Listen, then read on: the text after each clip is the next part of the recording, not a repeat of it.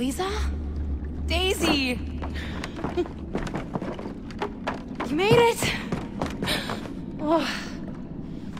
Daisy, I'm so sorry. Look, I'm done crying. But I found this boat.